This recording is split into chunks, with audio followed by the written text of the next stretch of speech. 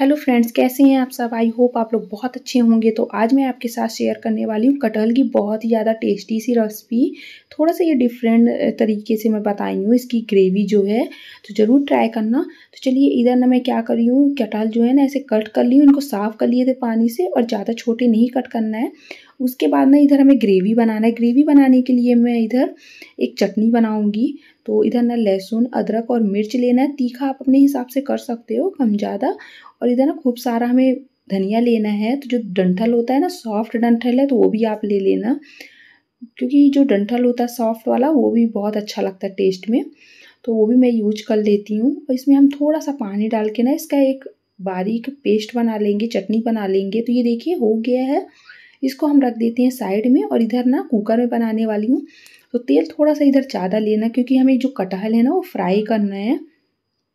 तो इधर ना आधे कटहल पहले हम फ्राई करेंगे। तो इसमें हम डाल देंगे और इनको फ्राई कर लेंगे। ज़्यादा फ्राई नहीं करना, बस हल्का सा ही फ्राई हम करेंगे। तो ये देखिए हल्के से फ्राई हो गए हैं। अब इनको निकाल लेते हैं तेल छान के ऐसे साइड से। तो सारे कटहल में ऐसे फ्राई कर ली थी। इसी तेल में अब हम डाल देंगे जीरा, राई, मेथी और ये खड़े मसाले थोड़ा सा डाल देंगे। इनको चटकने देंगे। उसके बाद इधर हम डाल देंगे प्याज। तो प्याज मैं बारीक कट कर ली थी इधर। चार से प्याज ली थी मैं। चार से पाँच प्याज ली थी जिनको मैं ऐसे बारीक कट कर ली हूँ।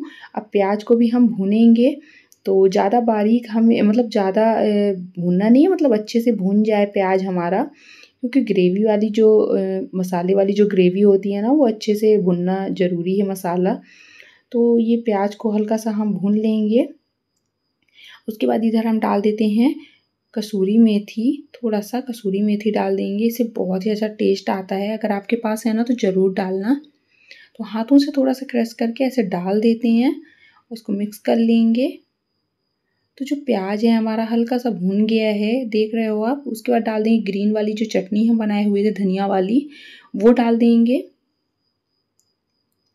तो ये, और थोड़ा सा पानी इसको डाल के ना इसे निकाल देंगे। इसको भी भुनेंगे थोड़ा देर। इसको भुनने के बाद इसमें हम डाल देंगे सूखे मसाले।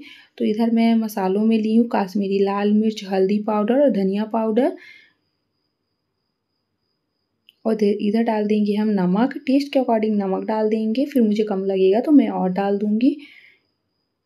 तो नमक डालने के बाद गैस को इधर मीडियम फ्लेम में करके और अच्छे से इसको भूनेंगे मसालों को। जब ये मसाला भुन जाएगा तो इधर हम डाल देंगे टमाटर की प्यूरी। तो आप देख रहे मसाला बहुत ही ज़्यादा टेस्टी लगा था, इस तरीके से ज़रूर ट्राई करना आप। तो ये देखिए। टमाटर की प्यूरी डाल दिए हैं हम। इसको भी डाल के अब भुनेंगे मसालों के साथ अच्छे से। जब हमारा ये मसाला भुन जाएगा तो इसमें हम डाल देंगे जो फ्राई किए हुए कटहल थे, वो सारे डाल देंगे। तो ये सारा डाल देते हैं हम और इनको हम मसालों के साथ में अच्छे से भुनेंगे। उसके बाद इसमें पानी डाल देंगे। तो पानी आप अपने हिसाब से ग्रेवी में जैसा आपको पसंद हो, वैसा आप डाल सकते हो।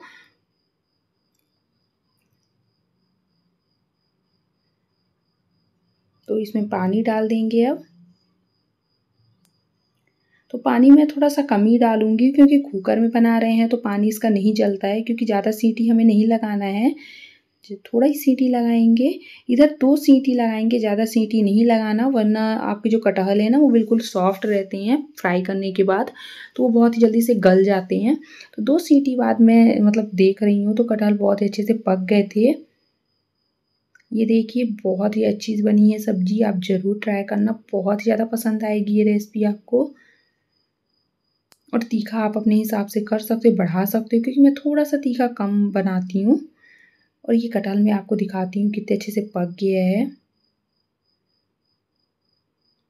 तो ये देखिए कितने अच्छे से पक गया है बिल्कुल सॉफ्ट हो गया है कटहल हमारा। तो बस इधर हम डाल देंगे, लास्ट में हरा धनिया डाल देंगे और गरम मसाला मैं इधर दिखाना भूल गई थी, मैं डाली थी बट स्किप हो गया था उधर। तो ये हरा धनिया भी डाल देंगे, इसको मिक्स कर लेते हैं। और बस निकाल लेंगे हम प्लेट में अपना, जो सब्ज़ी है। वीडियो अच्छा लगे तो प्लीज़ लाइक, शेयर ज़रूर करना और मेरा वीडियो देखने के लिए thank you so much friends bye take care